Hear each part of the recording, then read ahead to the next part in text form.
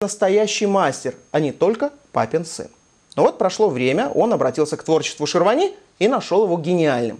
Это время совпало с 70-летним юбилеем Шервани Чулаева, и Камиль решил, почему бы не сделать отцу подарок – концерт его произведений в Париже. Рассказывает Юлия Городецкая.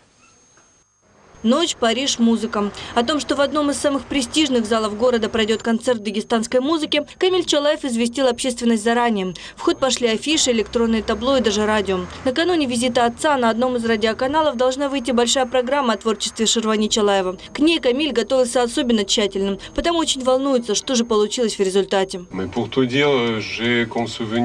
Père jusqu'à 13 ans essentiellement son dos parce qu'en fait il passait tous ces jour et nuit euh, à écrire. Вообще я доволен очень сильно, потому что Бруно, он, э, во-первых, он очень быстро отреагировал на, на сообщение о концерте, первое, и потом он, он, он пустил все сначала до конца. Аэропорт Шарля де Голля, ожидание, встречи. Ежедневно в Париж прилетает три самолета из Москвы. Шервани Чалаев летит самым поздним рейсом. Я никогда не был востребован так, как сейчас. Почти первое, что говорит сыну композитор. Юбилейные концерты в России, Беларуси и Дагестане. Остаться в Париже больше, чем на три дня, значит сорвать всю программу. У них возникла идея Дагестан спектакль повести. Мне хотели там устроить тоже такой сабантуй в связи с юбилеем. Я сказал Савантуй только в том случае, если вы повезете спектакль. А сидеть на ковре и слушать речи. Шервани уже был в Париже частным образом, но его музыка никогда не звучала здесь. Город он любит, но еще больше любит дом и работу, потому все мысли только о концерте и о творчестве. Я вижу, два человека поют аварскую песню и рассказывают друг о другу, Камиль, о том, как они в Воронеже абрикосы по какой цене продавали.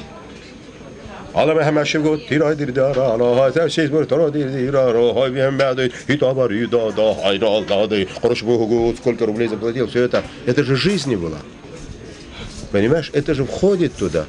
И поэтому они все время ищут меня через, вот он с кем-то знаком там куда-то, вот он чего-то, кого-то. Нет, это была натуральная, абсолютная жизнь. Лакские песни, инструментальные произведения и гимн Дагестана. Все это Камиль Чалаев репетировал с французскими музыкантами почти два месяца. Шервани удается попасть только на последнюю, генеральную репетицию перед концертом. Хор поет слаженно, но по лицу автора видно, что он готов внести коррективы.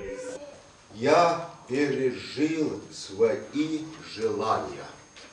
А так я пережил свои желания первые. Я разлюбил свои мечты. Я пережил свои желания, я разлюбил свои мечты.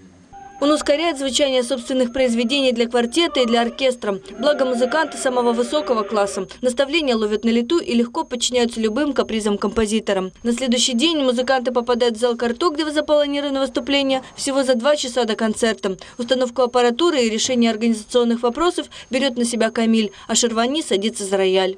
Я совсем не переживаю, никаких проблем не бывает. Я же не профессиональный певец. Профессиональный певец может переживать.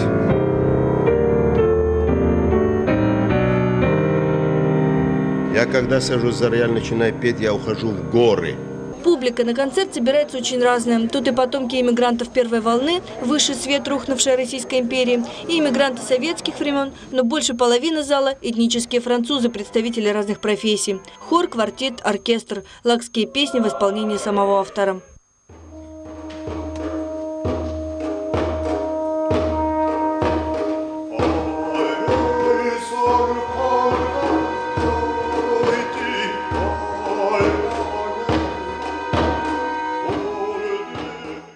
Публика ненадолго замирает от удивления, слушает, а потом аплодирует бесконечным и вызывает музыкантов на бис. После концерта за кулисами к Шервани подходит группа молодых соотечественников, которые живут и работают в Париже. Случайно из интернета они узнали о концерте. Я услышала в Париже гимн моей далекой-далекой республики, которая для многих даже незнакома, неизвестна, и которая порой, когда ходишь на выставки книг там или искусства России часто очень даже не представлено совершенно. Нас очень мало, мы здесь, э, может быть, можно сказать, э, единственные. И нам было очень-очень приятно и э, тепло послушать мелодии, родимые мелодии, которые мы уже начинаем сами, сами, сами мы начинаем забывать. Автографы и подведение итогов. Концерт был некоммерческим. То, что он станет убыточным, было понятно с самого начала. Печать афиш, аренда зала, оплата 25 французских музыкантов. Все это обошлось организаторам слишком дорого. Но результат превзошел ожиданиям. На то, что на концерт дагестанской музыки в Париже соберется так много народу, Камиль Чалаев, похоже, не рассчитывал. Я думаю, что это, так сказать, феномен такой совместных эффектов. Одновременно и дагестанская музыка для тех, кого интересуют какие-то такие экзотические вещи – Большая часть зала состояла из все-таки из моих хороших знакомых, то есть такая добрая четверть. На такой радушный прием не рассчитывал и Шервани Чалаев. Теперь концерты его музыки пройдут в России, Беларуси и Дагестане. А Камиль Чалаев запланировал на апрель новое действо. Он возглавит большой оркестр, который исполнит поэму родной украинской земле, за которую его дед по матери, композитор Яков Каплун, получил сталинскую премию. Юлия Городецкая, Вести Плюс.